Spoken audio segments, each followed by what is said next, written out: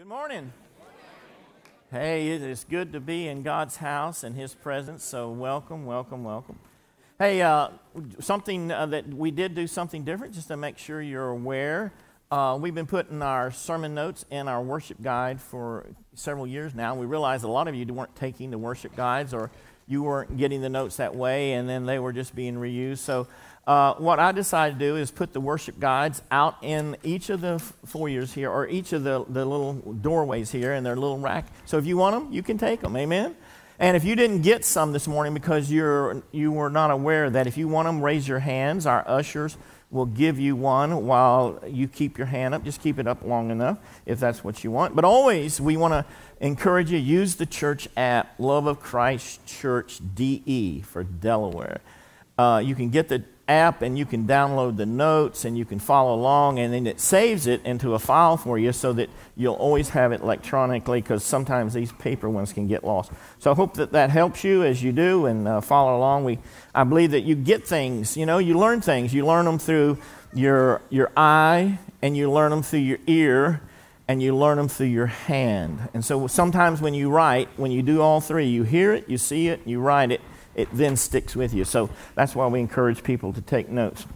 Uh, also, just wanted to, hopefully, you got one of these. If you didn't, uh, you can get these at the Info Center, and it's a little summary of some India projects that uh, Pastor Barbara and I came back from India uh, a couple months ago, and uh, we realized for quite a few years now, we've just been like trying to resist uh, meeting all the needs that are there because as pastor pk our head guy there he says the needs in india are like an ocean.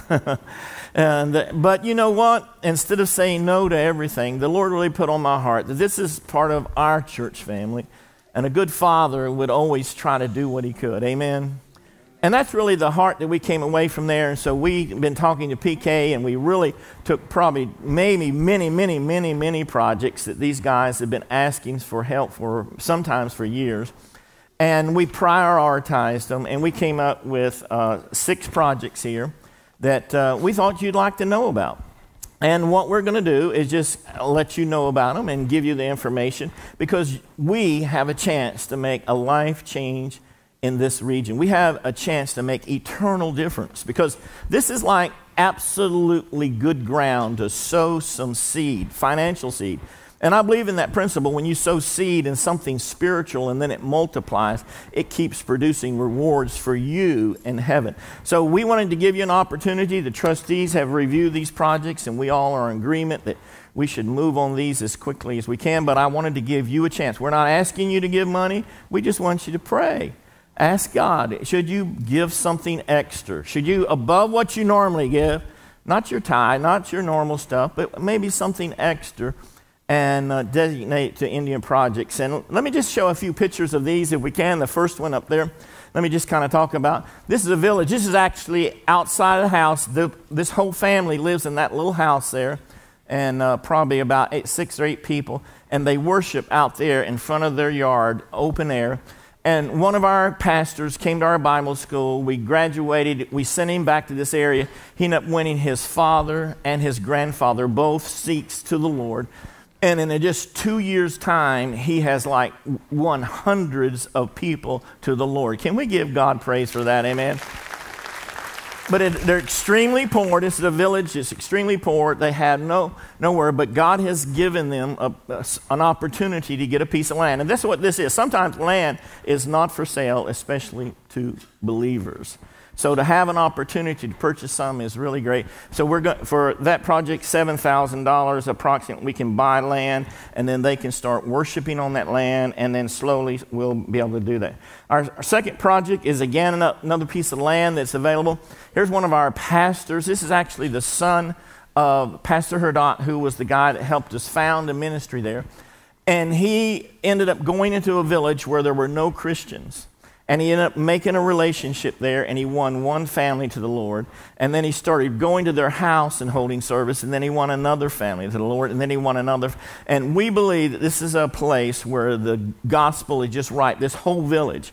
And they found a piece of land, and that's it right there. It's a very small piece of land. We're standing on it, praying and blessing it.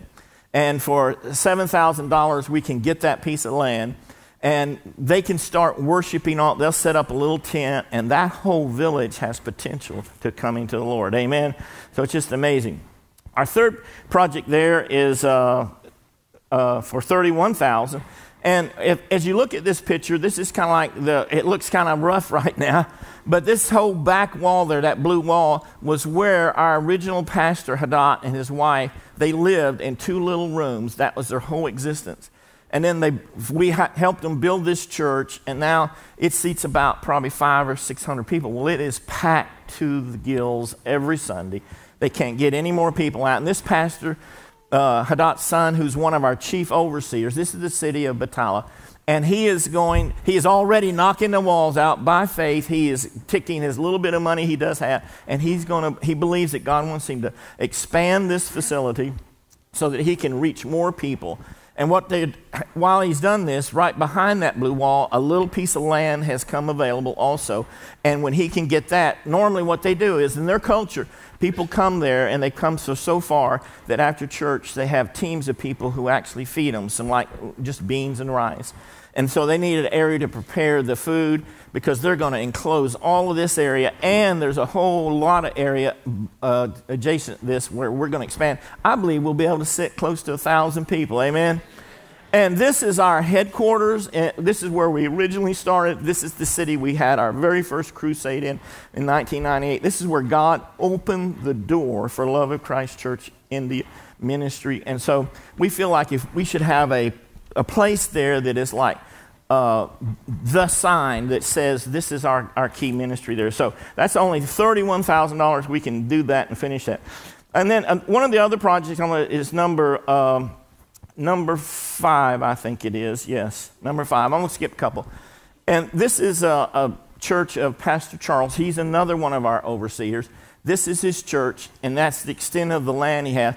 And people, every Sunday, they're sitting in every square inch of the floor, up the stairs, they're sitting on the roof, they're sitting out in the, the street. They're just completely, totally packed to the gills, also. And he's been really asking us to help him for several, several years. And we believe it's now time. He has found a piece of land that he can build on and expand. And for $32,000, we can open that up and just expand and explode that ministry. So there's about 80, almost $90,000 worth of projects there. If you would like to participate, ask the Lord. Maybe you want to just give something, just you can designate it. You can go online, you can use the church app. Uh, you can designate, or if you want to write a check, you can just put it in the menu, but take this home, pray about it, discuss it as a family. And if that's something that you want to do, then do it. Amen? And because Pastor Barbara and I are going to personally involve, give to this because we believe this is great ground to sow into. So we just want to have give you that same opportunity as we go forward as, and work on this. Hey, we're going to wrap up our sermon today, our series on uh, what would Jesus undo. You know, we've been talking about years ago when they all wore the wristbands, WWJD, what would Jesus do? Well, maybe there's some things he would like to undo in our life.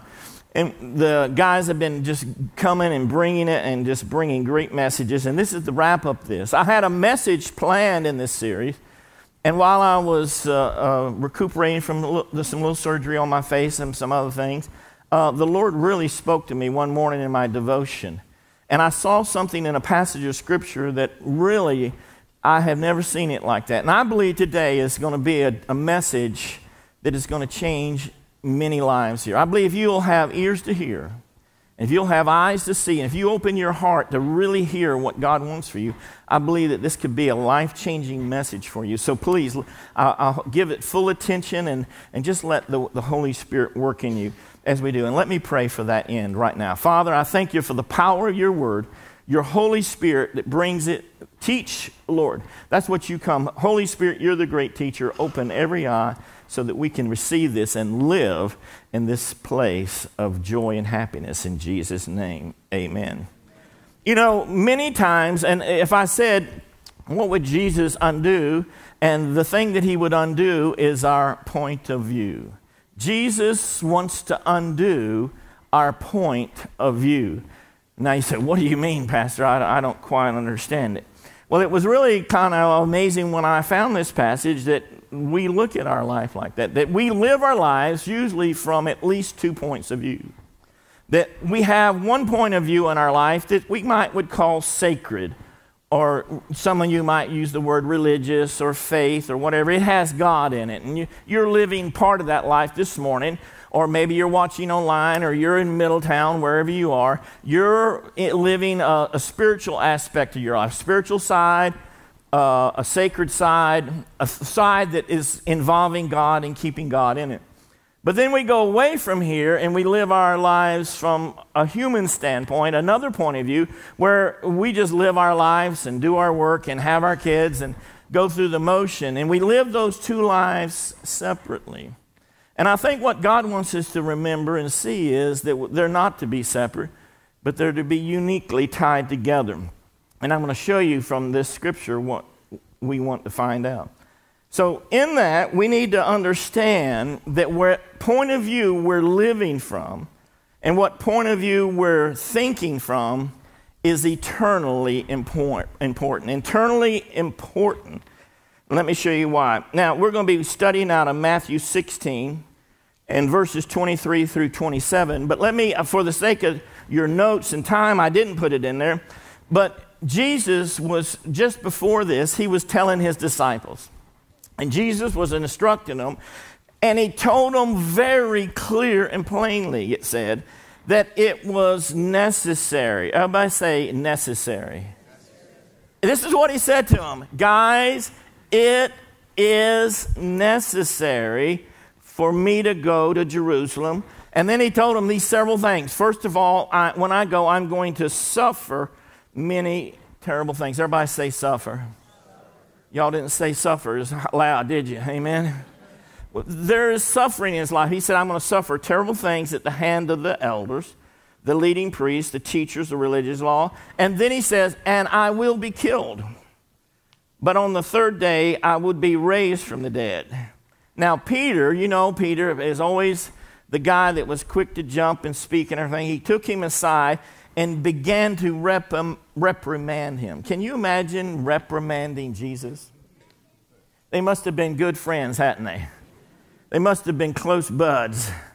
Like, you reprimand Jesus. I don't think he quite grasped the fullness of who Jesus was I don't think none of them had completely grasped it. They were grappling with it. And even this concept of dying and raising from the dead, to him, he couldn't grasp it, even though he was being told these things. And then it says, you know, when he goes over there, he began to reprimand him. And then he said these words to Jesus Heaven forbid. Isn't that a funny word? Heaven forbid, Lord, this will never happen to you. In other words, as far as I am, as far as I have life and strength and breath, I'm not going to let that happen to you. Now, this is the passage we come to, and some of you have read it before, and we're looking, that's in your notes, and it'll be on your screen. It says, Jesus turned to Peter and he said, Get away from me, who? Satan.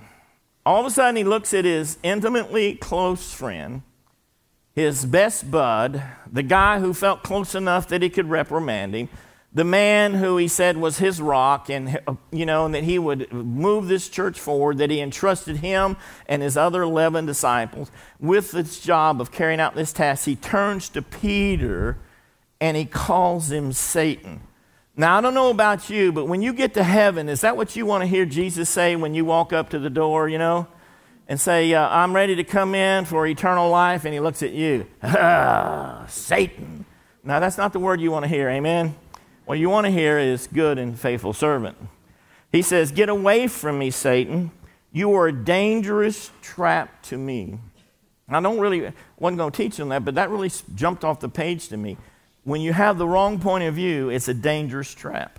It's a place that can destroy you. And then he says these words, which I get the whole context of this message from. You were seeing things merely from what? A human point of view not from God. And then he said to his disciples, If any of you want to be my follower, you must give up your own way, take up your cross, and follow me. And if you try to hang on to your life, you will lose it. Isn't that amazing? If you try to hang on to your life, you will lose it. But if you give up your life for my sake, you will save it. And what do you benefit if you gain the whole world but lose your own soul? Is anything worth more than your soul? For the Son of Man will come with his angels and the, the glory of his Father and will judge. And that word judge means reward. Everybody say reward. It doesn't mean like he's going to put, put you under the jail. No, it means he's, he's assessing all the things you've done good and he's going to give you rewards. That's what the word, I looked it up. He says, all people according to what? Their deeds. Now, when I looked in this passage, something came to me that he had the wrong point of view. He had the point of view of man. That there are at least, now I'm not saying there's not more, but there probably maybe only two that we know of for certain from this passage. There's a point of view that is man, worldly. In fact, the sad part is Jesus equates having your own manly or worldly point of view, men's point of view, the normal thinking as Satan. Now that's how serious this is. This is not like, well, I just live my life and do my life and, you know, go through life. No, no, this is serious. And then there's another point of view, which is God's point of view. And what Jesus was telling us is you got to make certain that you're living with God's point of view. He's going to change our point of view from the worldly, from the normal, from just being uh, the normal viewpoint that everyone else has to his points of view. Now, look what he says to there. And then he says, and found in here, when, he, when I really get this, there's a secret for happiness. Now, this is the other part I didn't really ever see in this passage. I wasn't looking for it, but as I began to dig into it and meditate on it and pray on it, that's what's good about having extra time to really spend in the Word on this. He said this You must give up your own way and take up the cross and follow me. Because if you hang on to your life, you will lose it. But if you give up your life, you will save it. Now, that word life, I put it in your notes there, those little italicized words the word life there is a Greek word, and it's the way it's spelled there is like psyche. That's not the way you pronounce it in Greek, but it, I like the way it looks psyche. In other words, the inner part of who you are. It actually means this word, it, it can be translated two ways or more. One of them is life, and one of them is soul. I'm going to show you that in a minute. But it means the inner part, the inner health, happiness, and wholeness the joy, the peace, that that's the life that he's talking about here. He's not talking about you're going to die if you give up your life. No, he's talking about if you give up this inner happiness of what you want, I'm going to end up giving you inner happiness that's way beyond what you get. Now, so this is, this is, the, this is the amazing revelation of this passage. I hope you see it there. He said, You must give up your way of life. In other words, you have to give up your own inner health and happiness for my sake, and then you will save it. Save what? Save life. Well, that word life, but what did we say it meant? What does the word life, psyche, mean? Inner health and happiness. Inner health and happiness. So if you just kind of get that in your spirit, if you're willing to give up your own inner health and happiness and take my point of view, you're going to actually save it. And that word save, I've shared this with you many more times. It's the Greek word sozo, and it doesn't mean like you're going to get to go to heaven. It's, it's a word which means healing, wholeness, deliverance. And that's what God is promising you. If you're willing to give it up and do it my way, I'm going to actually save it for you. I'm going to deliver it for you. I'm going to bring it to you wholeness, health, life, peace, and joy, all the good things of the kingdom. If you do it my way, you'll find those places in there. But when you're trying to do it your way and hold on to your happiness, you end up losing it. Isn't that amazing here? That's the, this is a beautiful part of this for my sake. Because he goes on and he says, And what do you benefit if you gain the whole world but lose your own what? Soul. That word soul there is the same word. It's psyche. It's the same Greek word. The translators said, well, let's translate it somewhere what different because it could have said, you know, if you give up your life for my sake, then you save it. But if then, what is it if you lose your life or gain your life? So in other words, this is still that word, inner happiness. Inner happiness. He says, would, it, would you lose your own inner happiness? And is anything worth more than your own inner happiness? I mean, think about it. You can have a billion dollars, but if you're not healthy, you're not happy. You're not able to live life. You could be the most powerful person in the nation, but if you don't have inner peace, then you don't have a good life. Some of the most richest, most powerful people are struggling with depression and sadness and brokenness. And, and, I pray that there could be someone here that you've been struggling with something that your inner happiness has been on hold for maybe months or years. And part of the reason is is because you're trying to hold on to it. You're trying to grasp after it, but you're trying to do it God's way. And what God is going to promise you here that if you'll do it His way, take His point of view, the inner happiness, He will bring it in wholeness and healing. Because uh, when we look at that word soul, we always think of, well, he who wins souls is wise, and, and the soul in hell. In other words, we think of that like that's the part that goes to heaven or hell. What is it if you lose your soul and you go to hell? That's not what Jesus was saying. He wasn't saying if you lose your soul and go to hell, because he's talking to people who are saved. What he's talking about is it, what would, good would it be if you try to hang on to your inner happiness but then you lose it and you never gain it. You never live in it because you're trying to live in the two worlds. And that's where he finds us and all these other things in our life. Let me, I put it in your notes, but the secret to living within inner happiness and eternal rewards is number one, is give up your own way. Give up your own way. That's what Jesus was saying. You got to give up your own way. If you really want to do it right, Peter, you got to give up your own way. Your way that you want me alive, you want me close, you want me healing you, you want me personally close to you. That's your way, but that's not God's way. In fact, God's way is going to lead me down a path of suffering and ultimately death. But because of that, I'm going to bring life and healing and wholeness and happiness to you and complete change to your life. We got to give up our own way. So many times when we come to Christ, we want to be saved. We're, sometimes we're afraid, well, we don't want to go to hell, but we really don't want to do it God's point of view. We don't want to adopt God's point of view. We just want our point of view to be satisfied. We're looking for peace. Some come because they're looking for peace and joy, but they're still then trying to hold on to their own life, their own habits, their own everything in their life. And then they're struggling. Why is this Jesus thing not working for me? Because you're still trying to hold on and you hadn't let go. Everybody say, let go. Give up our own way. And number two, you got to embrace God's point of view. That's what he says. If you'll come to my point of view, you'll see what God wants and do it that way. That's what's going to lead you to pure joy, peace, inner happiness. That's when the healing and wholeness of your life, your soul, the inner happiness comes when you do it God's way. This is so powerful when we can let go. It's really about lordship. I know so many times, you know, when you come and you try to, well, I'm going to try to get my life together. I'm trying to be a Christian. I'm trying to go to church once in a while.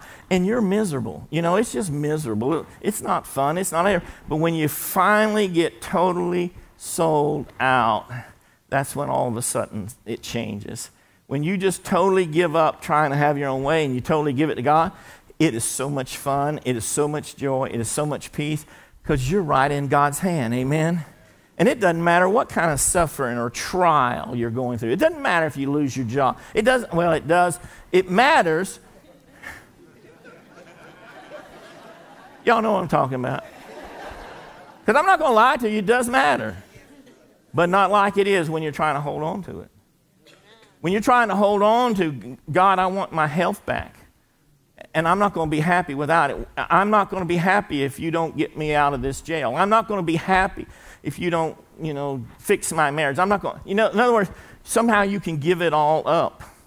I met somebody this week and I ran into them in a store and they said uh, their whole life was like falling out and they had grown kids and there were all kind of conflicts and other stuff. And they said, well, and I met him in uh, uh BJ's, and so you, you know who I am, you are if you are. And he said, You know what? I finally decided I couldn't fix any of this. My whole life was all messed up. And he said, I just started to say, I'm going to give it to God. And he said, every morning, every noon, and every night, he started praying and giving God praise. And he says, You know what? Everything started falling in place. And now I'm happy. Amen? You see, there's when you start doing things, it didn't mean were there still some issues in his family life and stress and everything else. Yeah, but you're starting to realize that's God got to fix that. Amen? When we quit trying to fix this world and the politics and the nation and all, if you're trying to worry about that, you're not going to ever be happy. Amen? So you might as well let that go, give it to God, do your part, and then just go through whatever you want to do. Now, this is the key is adopting God's point of view in everything. Everything. In fact, I almost said it this thing everything is spiritual. But number two, every part of our life is spiritually significant. Now, I, I put this part in here because I want you first to, you got to go with God's point of view. But I wanted you to see it three practical areas that we sometimes leave God out of. We will routinely, no matter how hard we do it, we, we start and we know God needs to be there, and then we forget and we take our point of view in it. And so let me show you three areas that this is significantly significant. Number one, our families are spiritually significant. We think we have a family and we think we have a God life and a church life, and then we have a family life, and that is not true.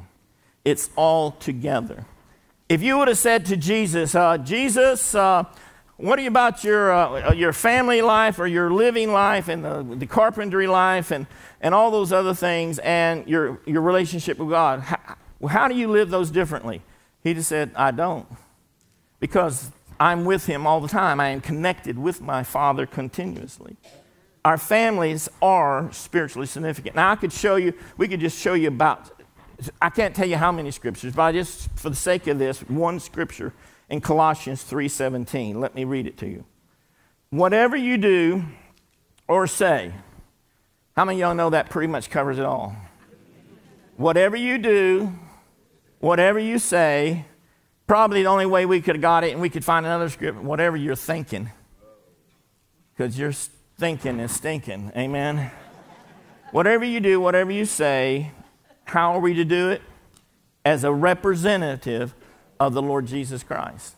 Now, that is right there. Everything is spiritual.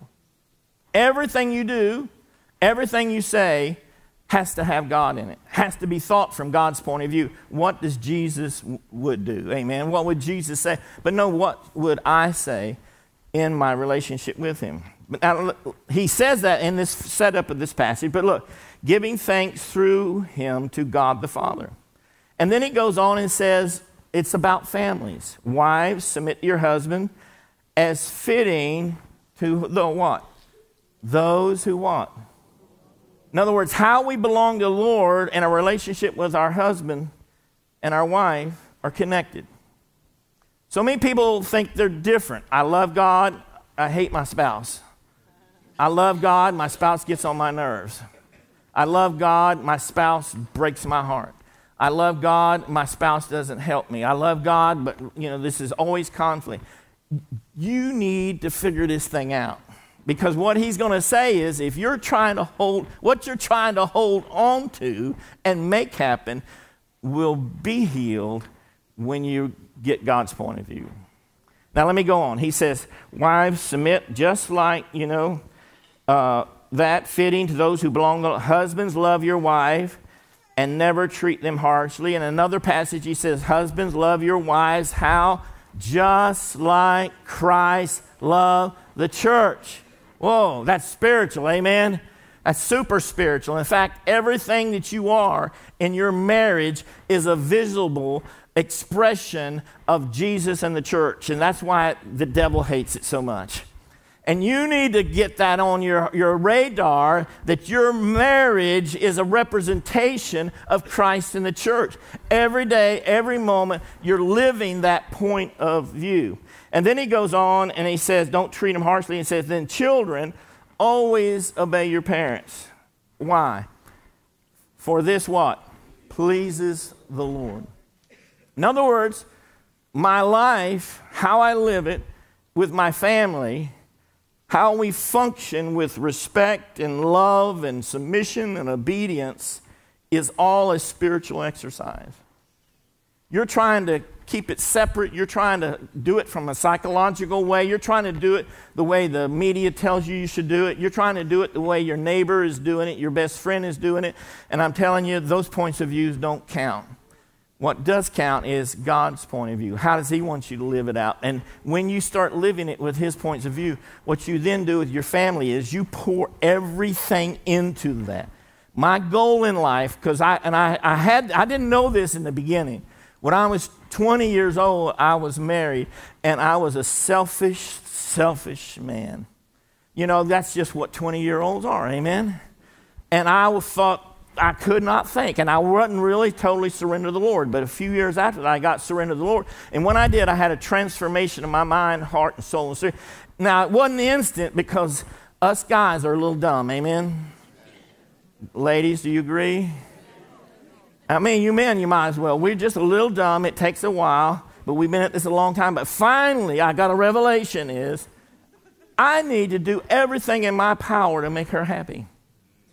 And all the women said, You know, I mean, just that's it. I need to do what pleases the Lord, what will make her happy. And then what will eh, Christ love her like Christ loves the church? She needs to know every day of her life that she is loved. Now, some women need different things to know that, you know, and you got to figure that out for your spouse. But my role every day is say, I love you. Isn't that right? Every day she wants a kiss. Every day she wants me to go to bed with her at the same time, even if the sun is up shining. Every day she wants me to get out of bed if I, if I got to do it and go on her side of the bed and give her a kiss. Now, see, that's not fair. But you know what? I gave up being fair because it's not about being fair. I'm the greatest servant. I'm going to lay down my life to please her. Now, I'm not perfect at this, so don't get you thing. But that, every day I try to prove to her I love her. I sacrifice, I serve her, I cook, I clean. If she's cooking and cleaning, I'm on my feet cooking and cleaning. If she needs something and we're on the couch, I get up and get it. Because she says, sweetheart, I just sat down. But you did too, but you... we could go on a long time about this.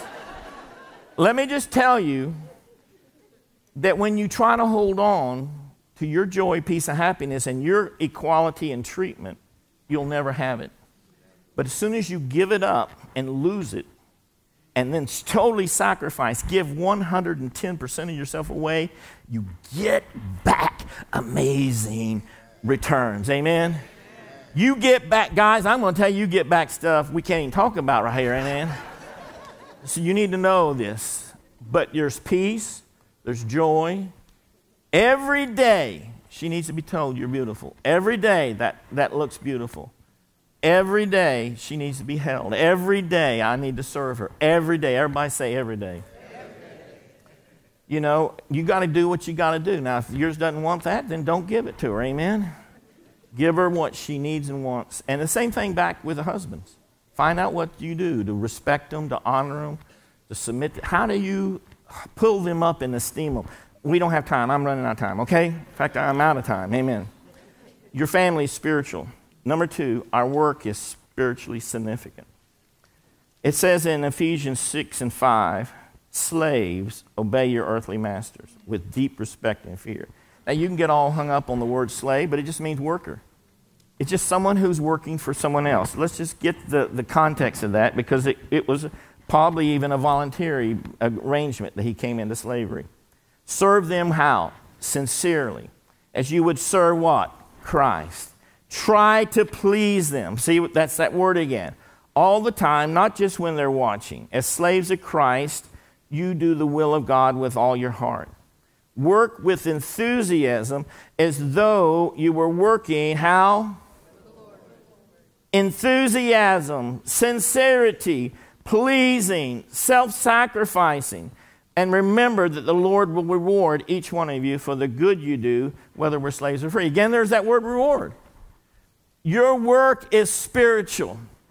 You will totally not be happy in your work. You will struggle in your work. You will feel undervalued. You will feel mistreated. You will feel abused. You will never find peace and joy till you get to the point that you say, I thank God for my work. I love my place of work. I'm going to give it 110% because I'm not just serving here, I'm serving God. Amen.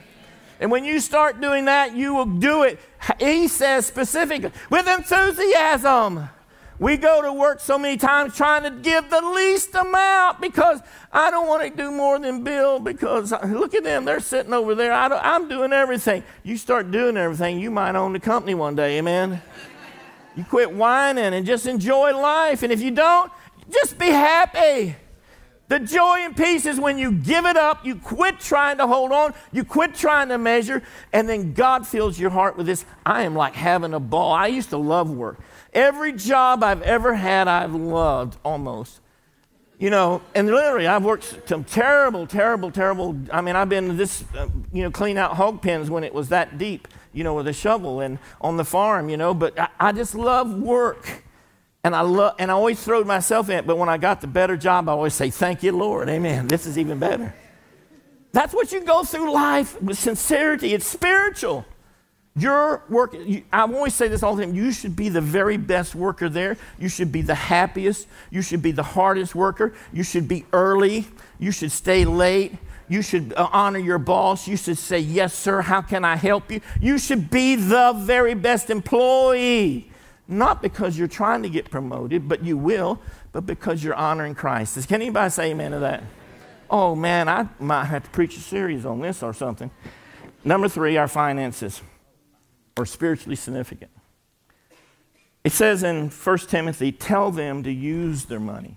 Everybody say, use money. Money is an instrument of exchange that you use.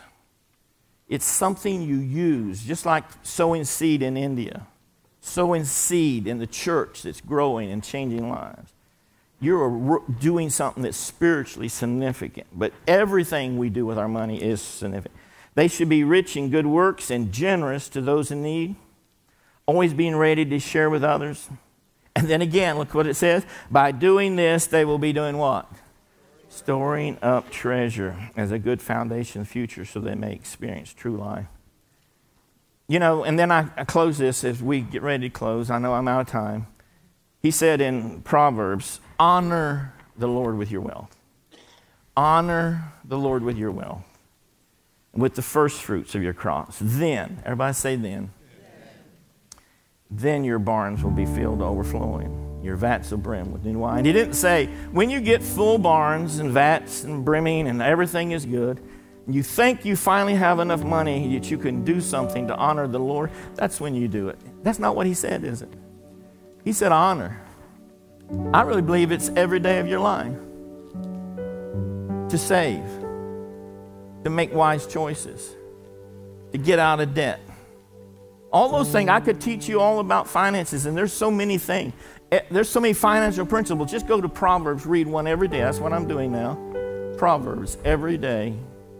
There's so much wisdom. Jesus taught more on money than he did forgiveness. He taught more on money than he did prayer. And we make more mistakes. We got generations of people who are going to live in poverty because they're not doing it God's way. And the more they try to hold on to it, the more they're losing it. Or if they start to figure out how to do it God's way, there's going to be healing and wholeness to your finances. I can, I can tell you, I, I've been with so little that we didn't know how to get it through the next week.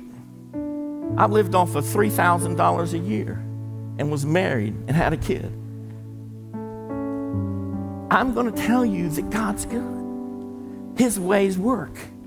And when you totally sell out to Him, where you quit trying to do it your way, quit holding on to your point of view and your friend's point of view and your neighbor's point of view, and say, What is God's point of view?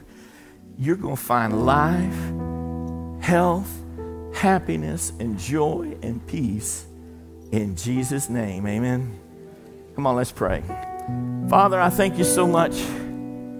Oh God, I'm so full of this word. I wish I could just share so much more.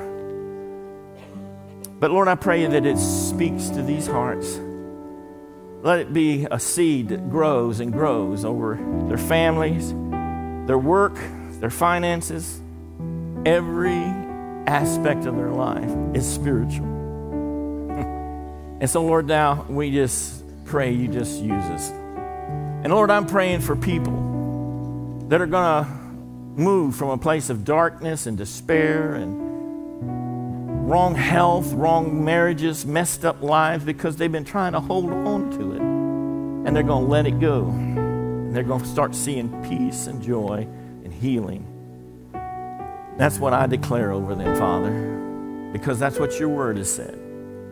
Now you're here, and maybe you're watching online or you're at Middletown, and you would say, Pastor Steve, I don't know Jesus as Lord, though. That's your first step, is lordship.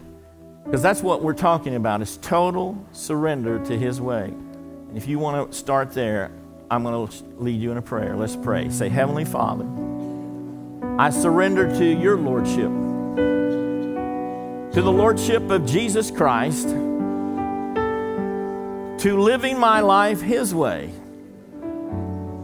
because his way is the right way.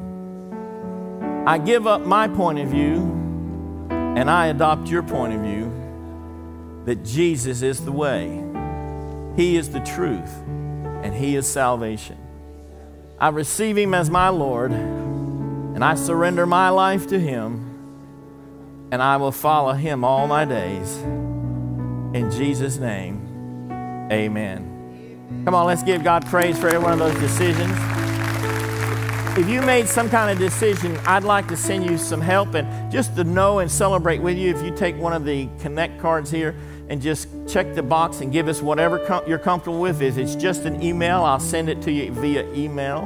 Whether you're here or at Middletown, drop it in the offering bucket when it's coming by in just a moment. Or if you don't have it in time, give it to the info center at your campus. And if you're watching online, somewhere in the world, this message is spoken to you and you want to connect hit that connect button and give us your email, and I'll make sure you get that information right away, too. God bless you. I'm excited because this is going to change your life for inner health, hope, and happiness. In Jesus' name, amen. Come on, let's give God praise. Amen. God bless you.